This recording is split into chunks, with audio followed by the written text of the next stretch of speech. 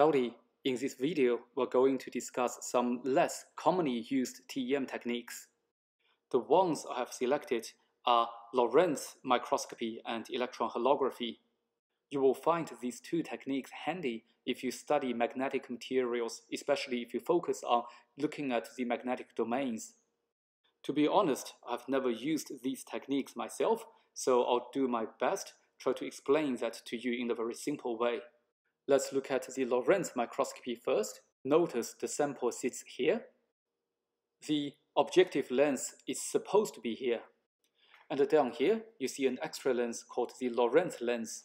So in the Lorentz microscope, the Lorentz lens replaces the objective lens. For magnetic materials, they have magnetic domains. Using the example on the left, Certain domains will have the magnetic moment pointing down. The other domain will have the magnetic moment pointing up. The local magnetic moment will bend electrons in different ways. Such local perturbation will be reflected in diffraction patterns as spots splitting. As the example shown on the right from the textbook, you can see the 200 spot splits into four, and this tells us there are four magnetic domains in the selected area for diffraction.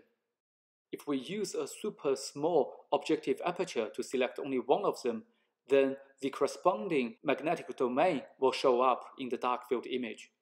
This mode of imaging is called Foucault imaging. Nowadays, the Lorentz microscopy has been incorporated with STEM. The detector shown in B is called a quadrant detector because it has ABCD quadrants because each magnetic domain in the material will deflect the electron in a different way. One of the quadrants will preferentially collect electrons from one type of domains. On the left of the schematic of the detector is a bright field TEM micrograph. You cannot tell too much about this magnetic material.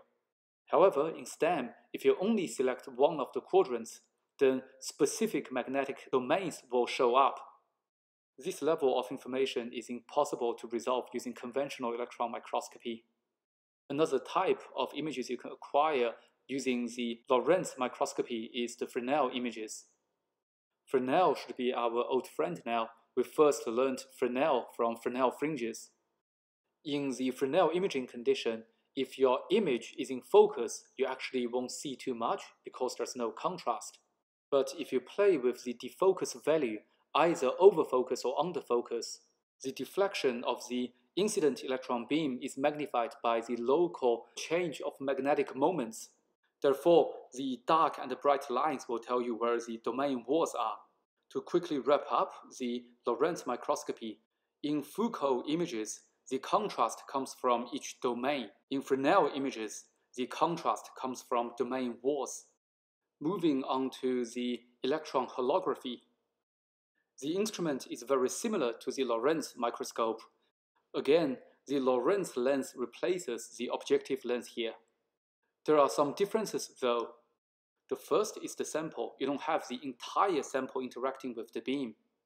What this gives you is part of the electron beam is not interacted with the sample and it is called the reference beam and the other part of the electron beam interacted with the sample and it is called the object beam. You also have the biprism to separate the reference beam and the object beam. Since the reference beam and the object beam have different phases, so it will form an interference pattern on your screen. Conventionally, electron holography has been used to study magnetic materials. Again, this example is taken from the Williams and Carter textbook. Let's focus on figure B.